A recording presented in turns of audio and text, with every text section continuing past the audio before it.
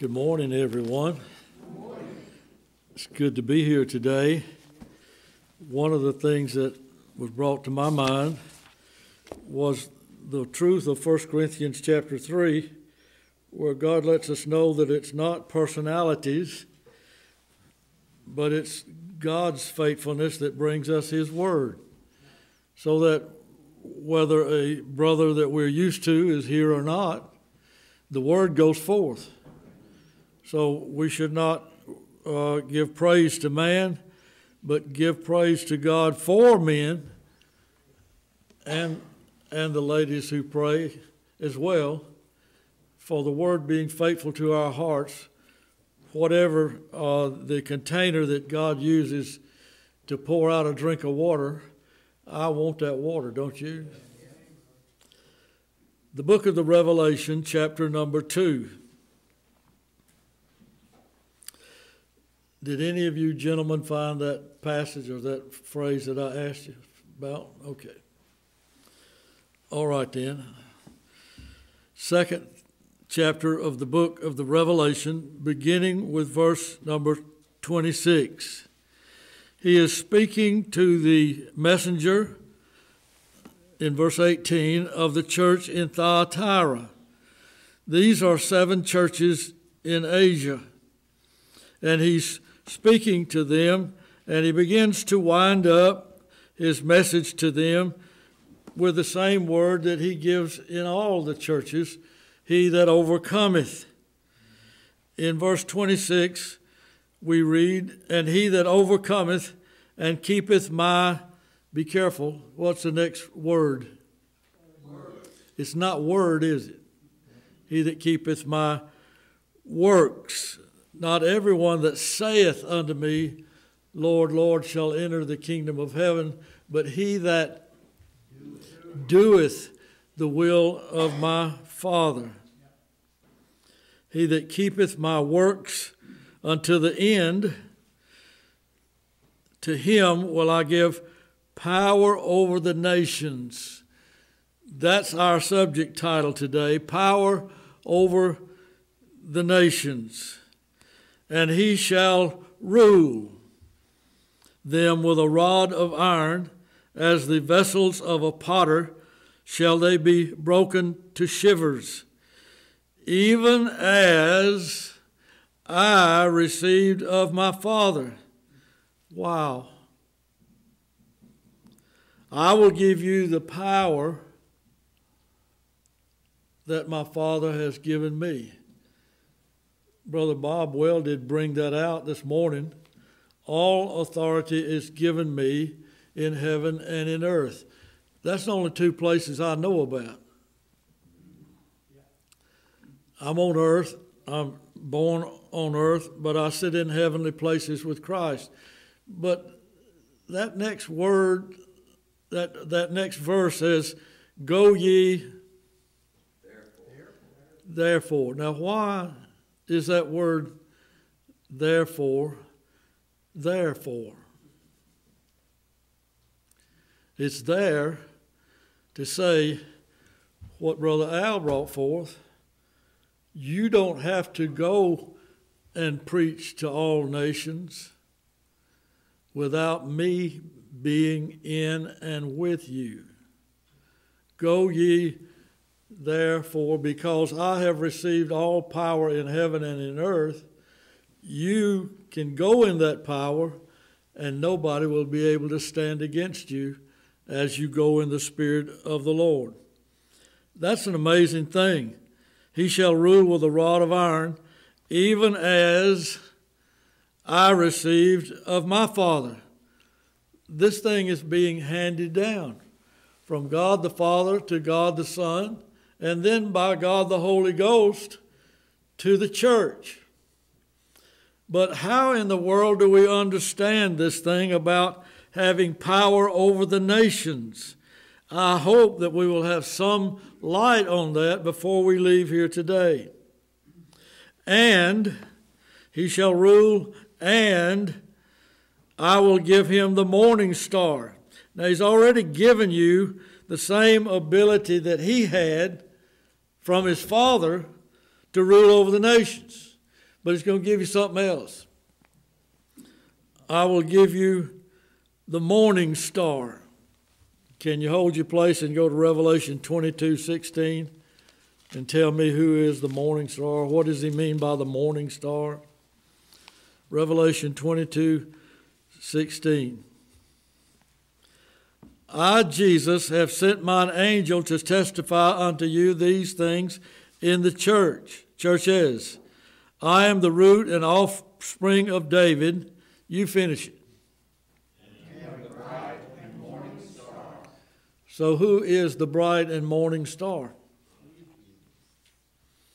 The Lord Jesus Christ.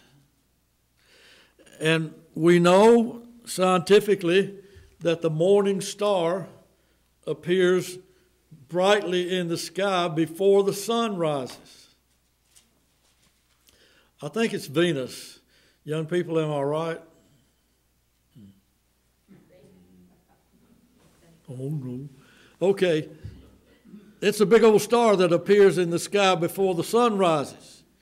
So there's something in the darkness of the night that gives you hope that the Son, S U N, of righteousness shall arise with healing in his, not its, his wings. The bright and morning star is Jesus Christ, who is the light of the world, and he shines in your heart in the world of darkness. So, this is an amazing promise of God. He shall rule the nations with a rod of iron. How? Even as, in the same way that I received of my Father, I'm going to give it unto you. And I will give him the morning star. Have you ever had a long night of sickness and pain? Have you ever had a long night of dread because you had a dental appointment the next morning and they were going to do a root canal? You just thought that night would never end. And then finally, there's a little bit of dawn, not dishwashing detergent, but the, the arising of the sun begins to peek through your window, and the long night of dread is over with. But there's something before that. There is the bright star, there is the morning star, and we have the authority of Christ's word himself written down by the Apostle John, given the Numbers 22 16 of the book of Revelation for us to have, and it's right there in your lap. I am the bright and morning star. In your darkest hour, in your greatest dread, in your time of greatest fear, I will be with you all the way, even to the end of the world, for you can do nothing without me. Isn't that good? I am the light of the world. All intelligence or of all creatures of every degree of in intellect is from Christ. I am the light of the world. But there's a different category in the rest of that verse. This is John 8 12. I am the light of the world. You don't know two and two is four, except Jesus gave us that ability to know that. But the last part of that verse says, He that followeth after me shall have not just the light of the world, which he won't lose, he'll still have that, but he shall have the light of life. Isn't that good? We beheld his glory, and in his life did we have light. Somebody sang an old song, said, You light up my life. Well, that probably didn't last long. Probably about a year and a half later, they got a divorce. But it just shows you that there is that persona of glory that comes from Christ. That no matter how dark the night is, and maybe you didn't have that night of dread. But somewhere in the world, maybe somewhere on your street, on your road, somewhere, maybe even in your family, especially in the human family, somebody somewhere was having a night of dread, but you slept soundly because the day star preceding the sun to bring the day was warming your heart. And as we say, we slept like a baby. Ain't God good? So we understand that the Lord is telling us that the church shall be the ones that rules the nations. It's the church that alone has the morning star. So if I have the morning star in verse 28, then I'm part of the church. And it is through his church that he shall rule the nations, even as my Father hath given to me. So, Brother Al, the branch cannot bear fruit of itself. But the vine, the true vine, because there's a false vine over there in the latter part of the book of the Revelation. Therefore, it says, the true vine. He is the one that brings forth the branches, and those who do not bear fruit, they are purged, cut off, and it brings more growth to those who do bear fruit, and the fruit is sweeter and more abundant. So we bear the fruit of Christ in the world, and it comes from originally the Father to the Son by the Holy Ghost to us. I'm going to send you another comforter. And when he comes, he shall take of mine. Jesus is the mediator between God and man, the man Christ Jesus. So he says, This is so good. I want to share it with you. And I am going to take not only my Father's goodness in sharing it, but I'm going to take also my Father's way of sharing it, and I'm going to pass it on to you like the Father passed it on to me. How did the Father pass it on to him? He said, Everything that I hear of my Father, I will tell you. Hmm. How did he hear of the Father? Holy Spirit. The Holy Spirit's just as much God as God the Father. The Holy Spirit is just as much God as God the Son. These three are not three gods, they are one. So there's an awareness into the humanity of God so that they may be a humanity into the peoples of God.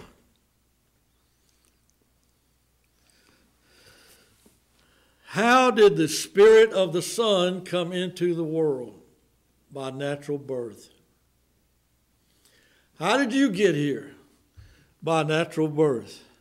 How did you come to know the passage of God's grace and glory from the Father to the Son by the Holy Ghost to you?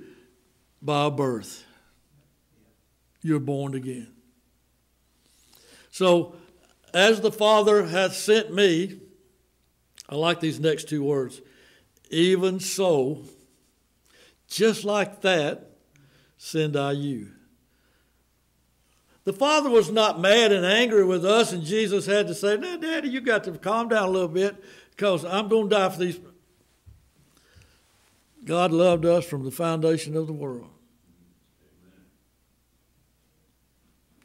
And when we sing that song that we just sang, it said her soul was bound for hell. And I always say, as far as she knew. But her soul wasn't bound for hell because Jesus gave her the water. But as far as she knew, her soul was bound for hell. As far as we knew, we were in outer darkness, we were cast out, but Jesus came out to where we were as lepers, we covered our mouth and said, Unclean, unclean, don't come up Don't come out here. Don't come out of the city gates. Don't approach me. You'll get defiled. Jesus said, You can't defile glory. And he came to where we were. Isn't that good? That, that, that's glorious. It's amazing that God came to where we were.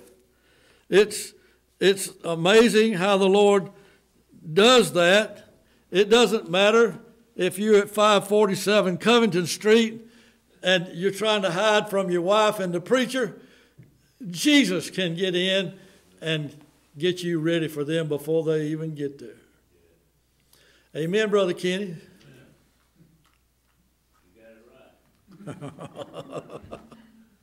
I love to tell his story of unseen things above. So we see that Jesus is telling the church, I am going to cause you to rule over the nations if you keep my works unto the end. If you abide unto the end, the same shall be saved. If you're doing his works, you're only doing it by the Holy Spirit. The reason that the grapevine produces grapes is because the root produces the sap that is the, is the identity and has the nature of and the character of a grapevine. So it don't produce watermelons or cantaloupe or uh, any other fruit. It produces grapes because it comes from the root, which is Christ. And so we, in doing his works, doing his work, we can't be doing it except by him, for without me, you can do nothing. So it's not I that live, but Christ that liveth in me. The life that I now live, I live by the, the person of the Son of God who lives within me.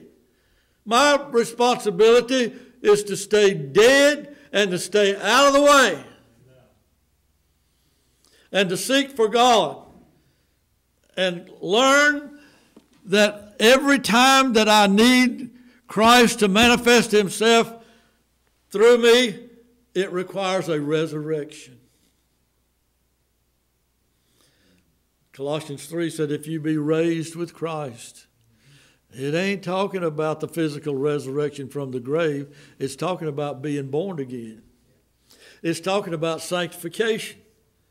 Every time that I'm required to do anything, I have to have Christ doing it because without Him,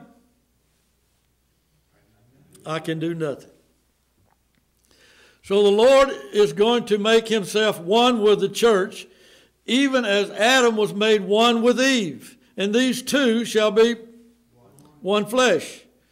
But in 1 Corinthians 6 17, it says, He that is joined unto the Lord is one spirit. So there is no hiccup, there is no uh oh, there, there's nothing to hinder, there's nothing to stop the flow. There, there won't be any stopped up veins or arteries to prevent the healthy flow of blood and life. It will come from the Father, through the Son, by the Holy Spirit, through the church. That which I do, you do. Your identity is me. You say, I can't do it. Exactly. even as hmm, I received of the Father. So the Son on earth couldn't do anything except the Father did it through him. I do always those things that please my Father. The words that I speak unto you, they're not mine, they're the words that the Father gave me. I thank thee, Father, that thou hast heard me. But for these people standing here, I'm praying out loud here at Lazarus' tomb in John chapter 11. so that they can hear what you and I have already talked about. There's no other prayer listed in John chapter 11. How in the world did he pray to the Father? With groanings which cannot be uttered. There were prayers like lightning shooting between the throne of God and the Son of God standing out there. And the reason that he wept was not because Lazarus was dead, it was because that he was life. It wasn't because everybody understood that Lazarus was dead. It was because that nobody understood that he was the resurrection and the life. The resurrection is not a scheduled event. The resurrection is the person of Christ.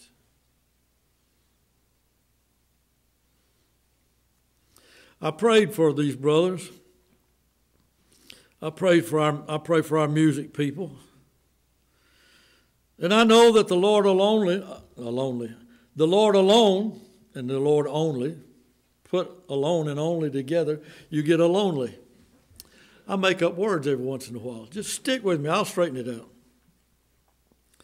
The Lord only can provide us with the contents and the setting for our worship. And therefore, everybody involved, even those that sit on the benches and never come down to the front where they can be seen, they are involved because they come into the house of the Lord seeking the Lord's face so that every joint supplies. The Spirit of God finds no uh, restraint or no deterrent for the flow of the revelation of the glory of God.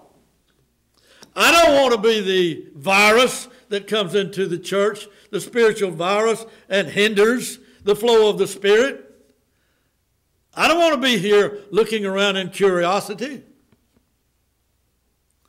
I want to be here, as the brother prayed in his prayer, hearing from the Lord. I want to hear from God. All of us wanting to hear from God removes any stopped up veins or arteries that our worldly cholesterol might have caused, and there is a flowing of the Holy Spirit, and we become as one. And therefore, the Father is pleased because he gave to the Son and the Son by the Holy Spirit who takes of his and shows it unto us. All things are mine because I received them of my Father. The Father is pleased because the Holy Spirit then appropriates his Son in the same manner that the Father was appropriated to the Son, so the Father is appropriated to us by the Son. So this verse cannot mean that some well meaning religionist, whether it be Mr. Cromwell or whoever it is, can say, I'm here to be conqueror of the world and I'm going to rule over everybody.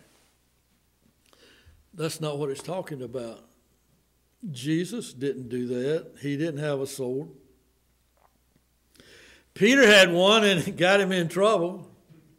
He showed how clumsy he was as a fisherman trying to do some sword fighting.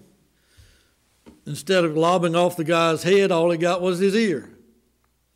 And then Jesus turned around, knocked the dirt off of it, and stuck it back on and reversed everything he did. So it's not talking about the church militant, conquering the world, putting everybody under our blue laws and rule over everybody through morality. That's awful. What is it we can't do without Him? Stay out of the way. As the Father has sent me, even so send I you. All authority is given me in heaven and in earth. Go ye, next word. You don't go because you've got a commission, you go because you've got a commissioner.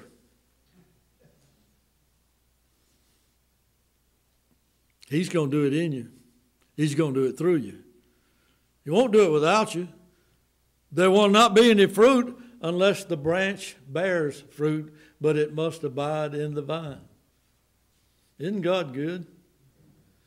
So he says, You shall rule the nations with a rod of iron, even as I received of my Father. Have you ever thought of yourself as an extension of God the Father?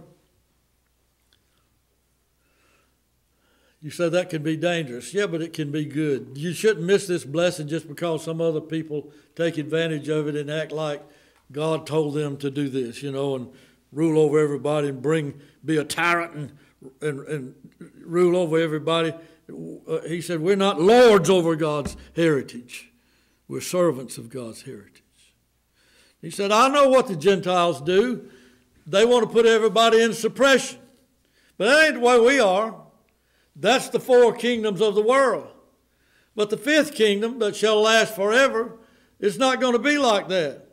But the greatest in the kingdom of Christ shall be servant to all, even as the Son of Man came not to be ministered unto, but to minister. Isn't that amazing? That's how we've got to retrain our brain. We've got to understand.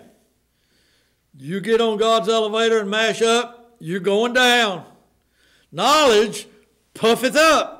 I don't care if it is Calvinism. I don't care if it is religious knowledge. It don't matter what kind of knowledge is, it is. It puffs up. And God hates a proud look. So, yes, we need knowledge, but we need wisdom in order to know how to apply and when to apply that knowledge. So the Lord is going to, can I say, mitigate. He is going to govern, control. He, he is going to mete out that which God has given him in fullness. Colossians, what is it, 2 9? He is the fullness of the Godhead bodily. Jesus got the full load. But I told the Lord this morning on the way to church, Lord, I appreciate you being patient with me. It took in you seven or eight years to be able to get me to the place where I am right now. And I know that now, just like I've seen people do, hold a little old baby sparrow in their hand, hardly even got any feathers. And they take an eyedropper and they can't squirt the full eyedropper into that little sparrow's mouth, just one little drop at a time. I said, Lord, I'm a naked little sparrow. I ain't got sense enough to get in out of the rain. And I was out in the rain. Was you? Yeah. I did bring my umbrella, but I reached up and grabbed the one, the first one I could get, and it's got pink all over it. Mike man, the Lord sure can humiliate you. So I go in the store with my pink umbrella. And I'm talking to the Lord. Lord, I ain't got sense enough to get in out of the rain, and even if I do, I get the wrong umbrella. But here I am with you just with your little eyedropper. Even so, even so, send I you. But that's being very gracious and very kind. You know, mamas sometimes get up to here with kids, and they'll say, Do you know how long I was in labor for you? and we want to tell them, Do you understand what all I've had to go through for you? But Jesus don't ever do that. Through many dangers, toils, and snares, He's been patient with me. One little eyedropper at a time. And He's got an ocean of glory that He wants to reveal. He said, I have many things to say to you, but you cannot bear them now. So I got to go back to heaven and send the Holy Spirit, and He'll teach. even as. That's very gracious. It's the same content in the little drop I get as it is in the vast ocean of God's glory. It ain't no different. Take a sample of the ocean of God's glory. Compare it with a drop in the little bird's mouth. It's exactly the same thing. As the Father, even so. Isn't that good? He is appropriating God to you according to not our need but according to our hunger. Blessed are they that hunger and thirst after righteousness, they shall be filled.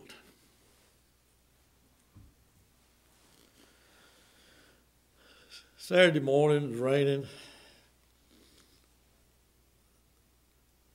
The mate didn't get up till around noon. Couldn't hardly walk. I thought, I'm going to do something for us. Oh, you know, cold Saturday morning, nothing really going on. And I happened to see on YouTube this big old guy. He said, I'm going to make a mountain man's breakfast. So I said, I'm going to try that. So I made a mountain man's breakfast in one skillet. Chopped up potato, diced little squares of potatoes, chopped up onion, a bunch of garlic, and then I cracked six eggs in it after the potatoes and the onions were done and brushed it all. Okay, broke all those yolks and they oozed down between those potatoes and the eggs begin to cook. And then I put about a half a pound of cheese on top of it. I wish you'd have been there. You do too, don't you? And the man said, Now don't cover this, because if you cover it, it'll make the moisture stay in it. So I didn't cover it. And while the potatoes and onions cooking, I'm just a turning. And the eggs, I'm just a turning. But then I put all that cheese on top, and I thought, that cheese ain't going to melt. So I said, he can't see me. He don't know that I'm going to break his rule. So I got me a piece of Reynolds wrap, aluminum foil. And I made I tore off the sides of the skillet and put it on top of it and turned it way down low, and that cheese melted and went down in it. Now, what in the world has this got to do with the message? You don't care, you're just enjoying the story. What it's got to do with the message is she sits back, mashes her button in her chair, leans back, and I bring her her plate on her tray and her little fork that she likes and the salt and pepper because ain't no sense bringing it to if you don't bring the salt and pepper. And and I go back in there and, and man, I'm loading up my plate. Brother Kenny, you've been proud of it. I mean, I was loading up my plate. By the time I got in there, she said, I'm full.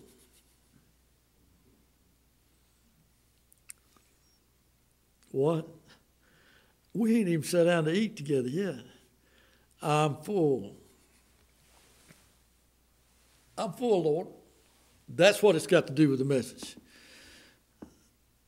the size of the drop I get as a naked little, no account little sparrow bird has to do with the ability of mine to be able to consume it.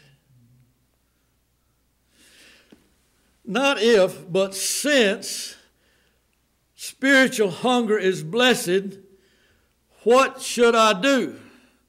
Make sure that I don't fill myself up and wear my brain out with junk.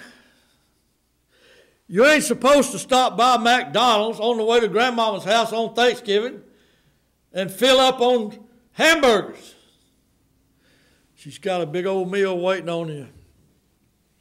And dear soul, I realize my responsibility in that bird that I need to grow some feathers and spread my wings, and I need to exercise so that my hunger will elevate, so that the great giver of life and light, even as he received of the Father, is more satisfied with being able to eat with me and taste and see that the Lord is good. She couldn't help it. Every time she takes a bite, she gets cramps in her abdomen. I don't know that she took more than one bite. I didn't tell the mountain man that the city woman couldn't eat, but just one little bite. But guess what? She was just as full with one bite before I could sit down as I was, and I hate to tell you, I cleaned my plate.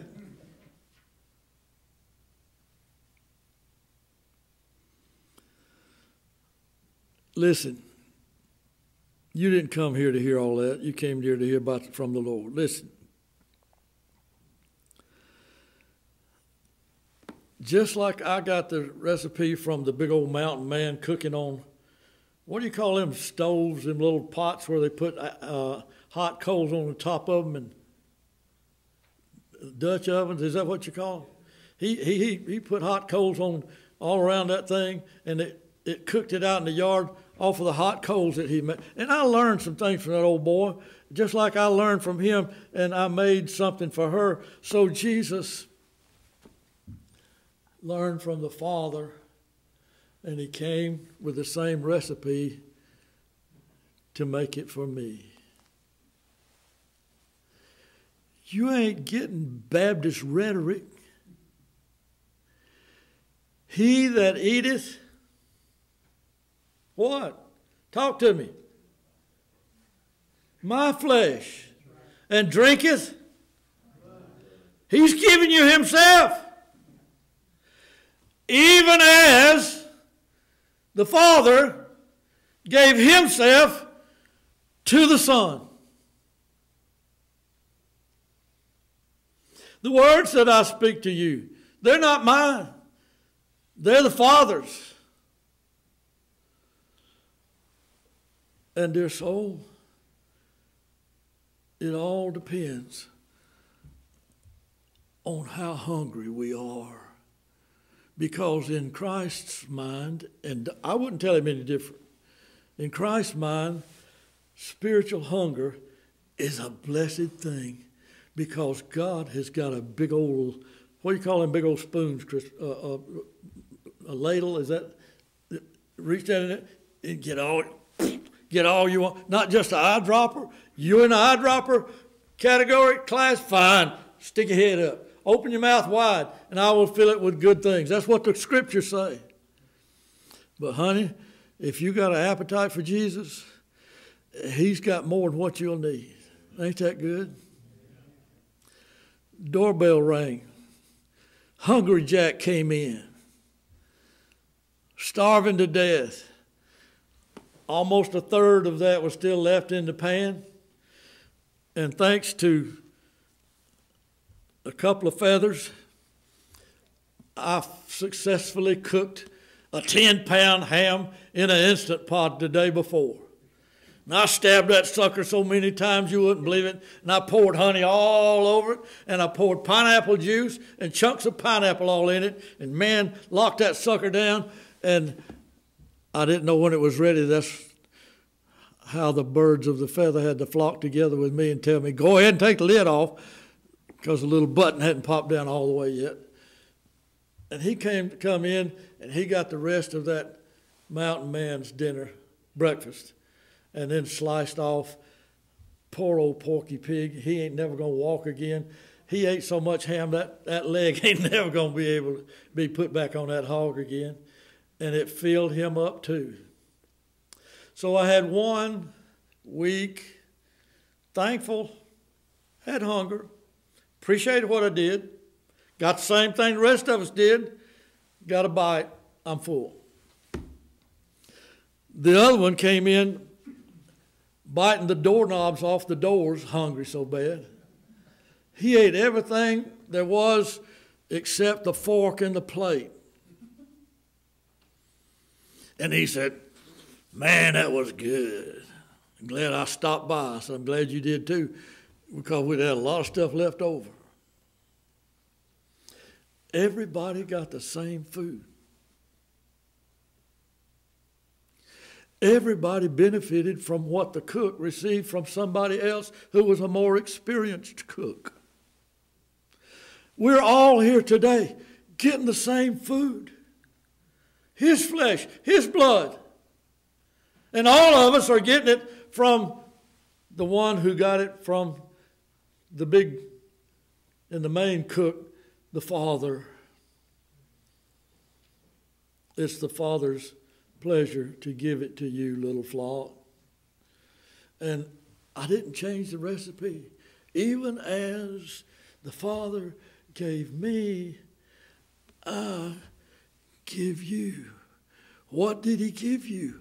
All authority in heaven and in earth. Took it away from Nebuchadnezzar, took it away from Darius, took it away from Alexander the Great, took it away from Julius Caesar, and all those kingdoms fell. And then the last kingdom, the fifth and final, an eternal kingdom is being ruled by the sovereign Lord, Redeemer, Savior, Christ. And what we don't do, that I'm ashamed of myself for not doing, and I pray for you that you'd start doing it, is realize that we should not have more fear for Julius Caesar. We should not have more uh, fear for Nebuchadnezzar, who had lives in their hands than we do for Jesus Christ because he has souls in his hands and they die eternally. All authority. Nebuchadnezzar's, Alexander's, Darius the Mede, Julius Caesar. Nobody has authority like me. I've got it all and it was the Father's good pleasure to give it to me. Because I thought it not robbery to be equal with God, but I began to come down, and I came so far down that I touched the cross. Next word, wherefore God hath highly exalted him and hath given him a name which is. Why are we afraid of men when that fear belongs only to Christ? the sovereign, absolute ruler of everything in existence. The devil's in hell.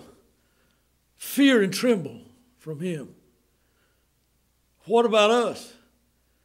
We ought to understand that there is no fear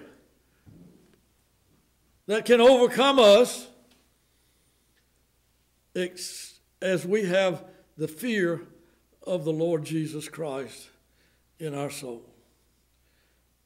Not cringing, but reverential respect, like we respect our parents, fearful not to do what they say, because it would be an affront to sonship if we did not obey them. And so dear soul, here's your mountain man's breakfast. There was three of us, and all th- each one of the three ate different portions, and one of them slapped half of a hog's leg on his plate and ate every bit of it. Did I hear any of y'all back yonder about 15 minutes ago say, I'm full?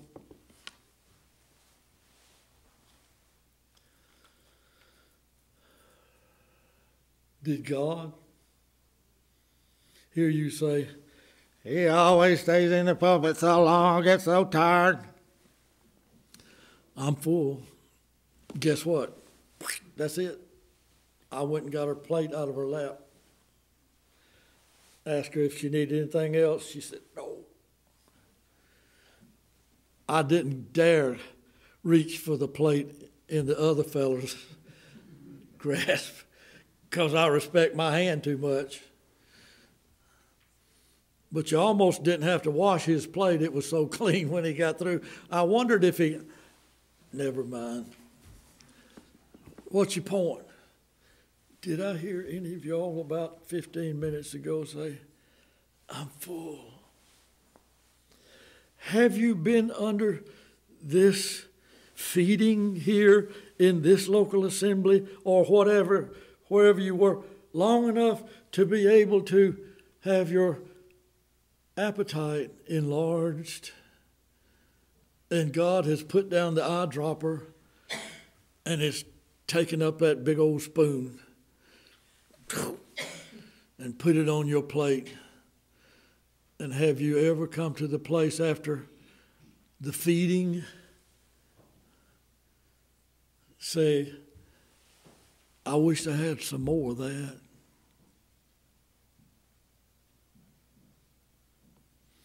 It's entirely up to you. Don't look at the one next to you, or the one behind you, or the one in front of you. Look at you, look at yourself. Examine yourselves. What kind of appetite have we developed for the glory of God? If we are still in religion, we've had enough. But I think I remember Jesus saying, I am the bread of life. Where did it come from? It was sent down from heaven. It smells so good while it's cooking. It just fills the whole house with its aroma. Oh, taste and see that the Lord is good. And they come over to you and they say, Would you like bread? And I say, Has a cat got a climbing gear? You don't need to ask me that in Outback. Bring me the bread, man. And while it's still hot, that little black loaf, and it's little. And that little honey butter, I start cutting it and passing it out. Man, it tastes so good. But I've never got so full of bread that I didn't want to eat the meal that I ordered. I've never had so much of Jesus that I didn't want more. I have never had a message, no matter how edifying it was from the Lord. It wasn't that knucklehead standing up there, it was the Lord speaking to me. It was so good I didn't want to leave, but I had to. Time goes on. We have to go on. And you know what? The next day when I was trying to remember it for myself, I couldn't remember all that was said. And then when I tried to tell it to somebody else, it was gone. And therefore, I wanted to eat again. So I'll tell you what I did. I got my own recipe out and I got into it and I sought not for the words on the page, but for the word of glory. And I bowed my head and I said, Oh Lord, I'm hungry again. Take the veil away, take the scales from my eyes. Open mine eyes that I might see. Lord, open the scriptures and open my heart as he did both in Luke chapter 24 with the disciples. Open the scriptures, open my heart that I might see the only thing worthy of being revealed. These are they which testify of me, O Lord, May I lay my head upon your breast and fill my soul with the satisfaction of your love and your glory. And you know what he had never said? Never said no. Now you could eat out of that skillet until it's empty. And that ham don't weigh 10 pounds anymore. But you can't eat so much of God that you can even diminish his content one itsy bitsy, teensy totsy little iota.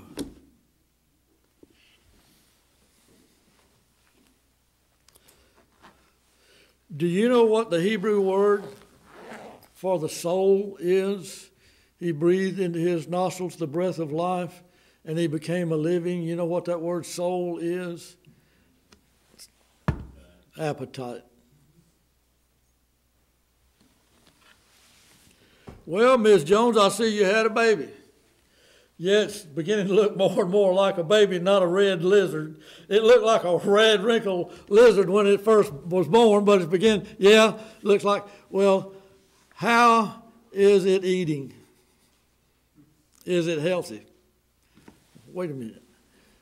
Why is that the only question you ask?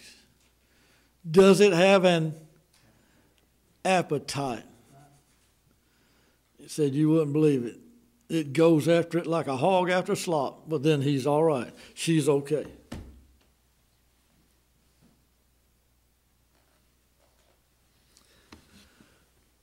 Well, Lord, I see that you've had some babies. Yeah. Well, are they healthy? Are they spiritual? He said, if they taste and see that the Lord is good, and they come to have that blessed hunger, they shall be filled.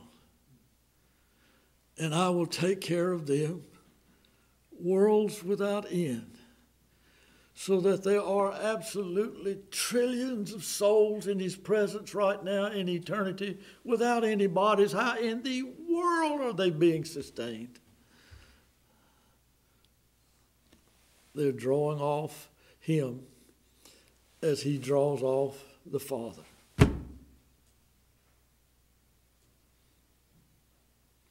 You know what I think the gnashing of teeth is in the eternity, and it took me a long time uh, in hell. You know what I think the gnashing of teeth is in outer darkness?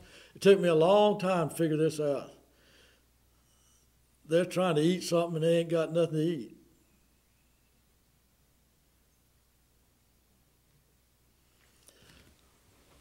Friend, your skillet ain't never going to be empty. You cannot diminish Christ. Then why don't you go at it like Hungry Jack did when he came in the door and you had to get out of the way between him and the skillet full of mountain man's breakfast? It's up to you. I pray and please forgive me for saying this, it's just a worldly term, but I don't mean it negatively. I pray that God would make you fat and sassy.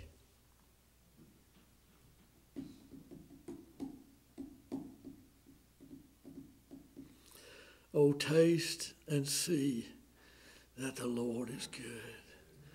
I am the bread of life. He that eateth my flesh and drinketh my blood hath life even as I am sustained by feasting off the Father, even so you can feast off of me.